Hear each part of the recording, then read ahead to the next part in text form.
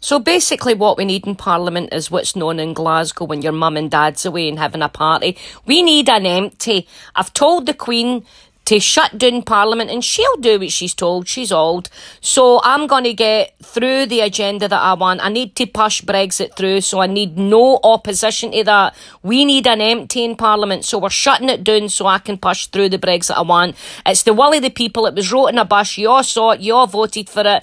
That's a democracy. We're getting an empty.